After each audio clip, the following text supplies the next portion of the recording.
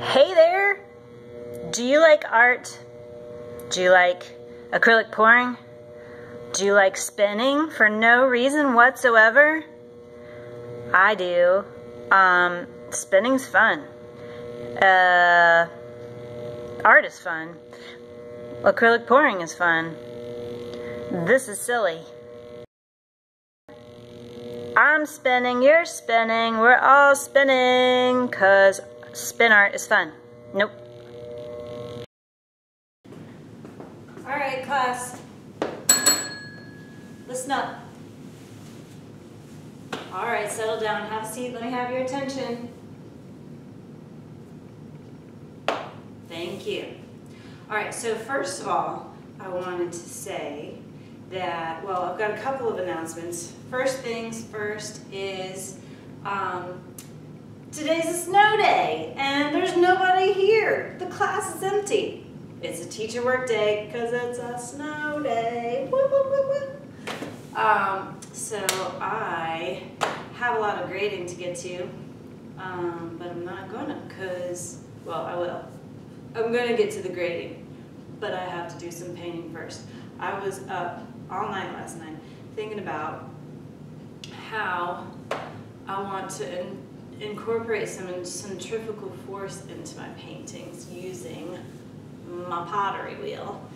Um, it's an idea that I've gotten from a few other people on YouTube. Um, let's see, first Rick Cheadle. I have seen him use a Lazy Susan to sort of spin his piece at the end to sort of get it to spread out get some of the excess paint off. Uh, then Wiggles Art is another uh, acrylic pourer that I follow and he has used some sort of contraption, I think also maybe a Lazy Susan, to spin his art and get some, some stuff going out. But then there's also artist named Callen Schaub, I think that's how you pronounce it. S Did a residency in Canada, but I've seen him in California too. Um, huge contraption using bike gear and um, large masked off walled area to contain the liquid paint and huge canvases and he um, has like a swinging contraption with a trough. So I thought I would give it a try and see what I could come up with. Even though I work in, in the space that is my classroom, all the materials are mine that I use. I purchased the canvases, I purchased the paint and the mediums. The potter's wheel that you will see me using in this video is also mine. It doesn't belong to the school. I purchased it years ago. Okay, so I've spent all morning trying to figure out how to secure the paintings onto the pottery wheel as well as how to keep the paint from flying everywhere. Those are the two main issues and I think I've got it figured out. I've got several different canvases and boards to paint on. For quality control purposes, we're gonna sort of reduce the variables by sticking with black and white and just a few neutrals at first but hopefully we will have some success. So here is my setup. This is my largest canvas on the pottery wheel and I've got my paints and my other canvases and boards here that I am going to paint on. This is the pedal that I will control the speed with. I have some cardboard backing over here to keep the spray at bay and then some bulletin board paper all around the the exterior on this side. I have covered the floor and you see a little gap there that's my in my exit door so I will I will close that in once I'm inside the perimeter this is three foot by three foot square I just wasn't really happy with the composition it was a cool idea I'm just not feeling it but I wanted to demonstrate for you before we got started how this is going to work. So I'm going to push the pedal a little bit. And there you have it. I have secured it. It shouldn't fly off. Uh, you want to see it go faster? You want to see if it flies off?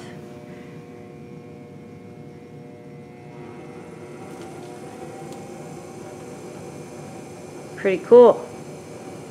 We're gonna paint. It's gonna be fun. I'm excited. I've got my little tripod right there. Got some light coming in from outside. So this should be a pretty decent video. All right. Here we go. We're gonna try to uh, make some fluid art that's using centrifugal force and we'll see how it goes. We have our first piece ready to go. Spinning. I'm gonna coat it and I think the first thing I'm gonna try is just simply letting the paint spread. Maybe doing a flip cup sort of thing and then just seeing how it spreads around. And we're gonna limit our color palette to neutrals, mostly black and white.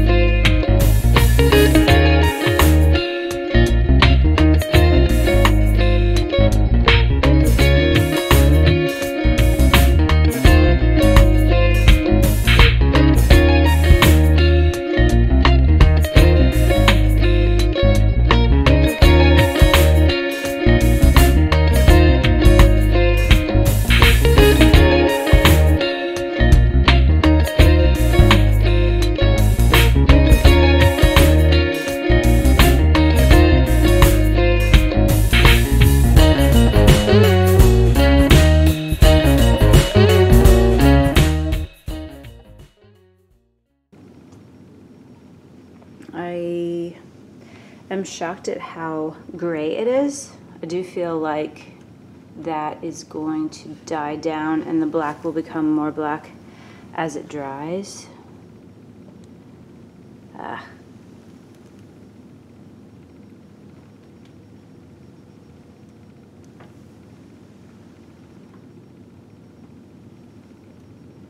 I think I might add a bit of white because this doesn't feel like it has um, much of a, hmm, I don't know. The cells are starting to pop, so it's feeling like the contrast is going to come out over time. So I'm going to, I'm just going to let it be.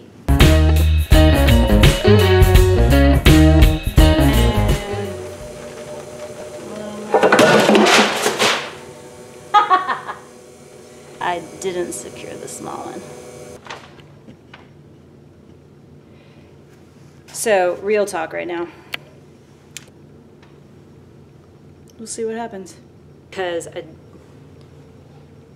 you ever heard the um, the saying that glitter is the herpes of the art room? It's true. I don't ever buy it, but it just shows up and it gets all over everything and it spreads to everyone. Here, this is the pearl mixture That's a lot of paint. And some white. I think I've hit the jackpot. This is what spin art's for. And look at that edge of gold right there. Which I sort of thought was gonna be the way to go. That's why I saved it for last. Pat on. Thanks for watching another one of my videos. I hope you enjoyed it. Let me know in the comments if you did.